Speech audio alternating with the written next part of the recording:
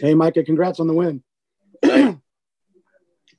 Obviously, you've been here for a couple years. You've been a part of some of these games where it's been one play or one drive or whatever it may be to get one of these kind of wins. What does it mean to you guys to come through and and get that signature win and and you know uh, kind of shock the nation? I guess. Yeah, I say um, you know I think we were we believed it the whole time. There was no doubt on the sideline.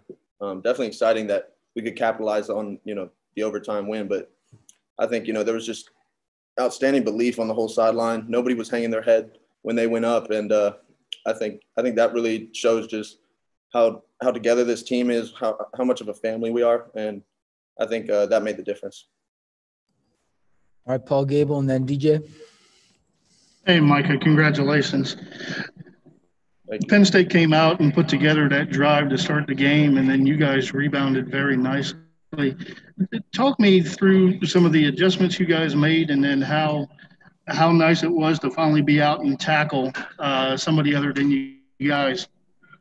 Yeah, um, I'd say all week we kind of knew that, you know, first game of the seasons are kind of weird. You never know what they're going to come out with, what they're going to run early. So, I think that first drive, you know, we were there were there were some things they were throwing out at us that we weren't really ready for, but we made some quick adjustments on the sideline and, and throughout the first really the first half and into halftime. I think uh, we made we made some really good adjustments, and I think uh, just our players capitalized on the plays that where they you know I think I think back to where the tip pick and that, that was a huge part of the game, getting in good field position and, and just the defense being one throughout the whole game. I think that was a huge part.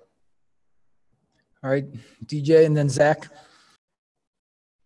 Yeah, Mike. Uh, uh, the defense had to make some adjustments, as you kind of alluded to in the last question. Um, but how important were some of the early downs for you guys? You uh, left Penn State in 17 third down situations today.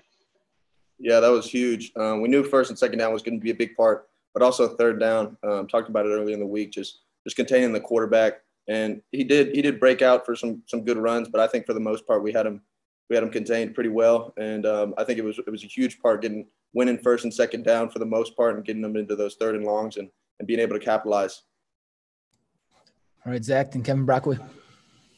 I could forgive kind of a blunt question, but uh, Devyn Ford walks that one into the end zone at the end. I know that's what you guys intended, but I guess what are you thinking? Because in you know most situations obviously uh, a team just sort of takes the knee there doesn't take that touchdown. Is, is there kind of a moment there where you think hey maybe the window's still open a little bit? Yeah um, it was kind of just a quick call on the sideline uh, that that coach Wommack gave us. Um, we were kind of seeing what the time frame was going to look like whether they were going to try to um, run some clock down and then take a knee. But once they once they chose to ran the ball we, i mean we were for sure just going to let them walk in. And i don't think they anticipated that either all right, Kevin, then Dylan Wallace. Yep. How much um, did the um, takeaways give you guys energy in the first half, uh, getting those takeaways and, you know, being able to, you know, put your offense in good field position to score? Yeah, I think that was a huge part of it. Um, we always, it's one of our, you know, one words on defense is takeaways. It's the first one. And we really um, capitalize on that. We try to get three takeaways a game. And I think that was a huge part. You know, offense kind of was stumbling a little bit early, but they picked it up late in the game. And I think it was a huge it was a huge piece that the defense got those got a few takeaways actually, and um, yeah, we prepared for it.